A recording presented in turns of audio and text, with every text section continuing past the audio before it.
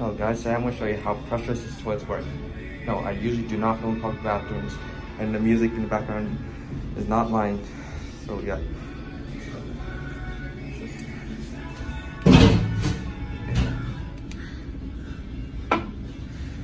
This is a girl flush. Show you how it works. Hold on, wait, no leave.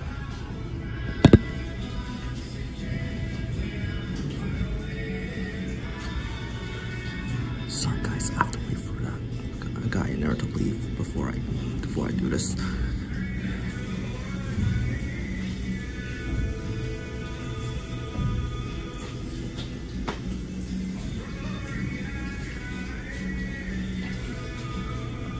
I'm sorry, there's still that I'm sorry that guy's still in there, so please wait a while.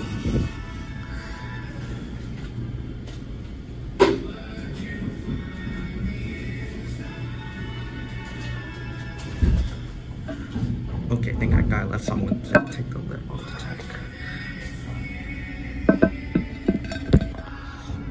So this thing in here is what's called a pressure vessel. This one you're looking at is a Sloan Flushmate. It is a 5 3 model. Does one and it uses 1.6 gallons. This toilet uses 1.6 gallons, but yeah.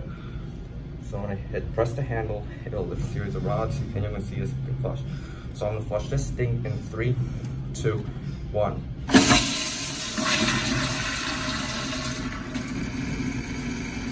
What you saw here is that when I push handle down, it, causes, it, it causes this rod to come up, which pushes this actuator. So yeah.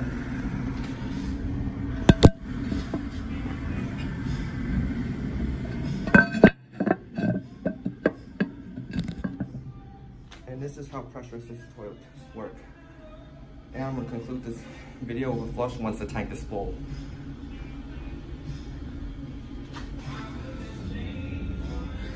There's no, there isn't any water running, so yeah. Uh, okay, so here's a flush.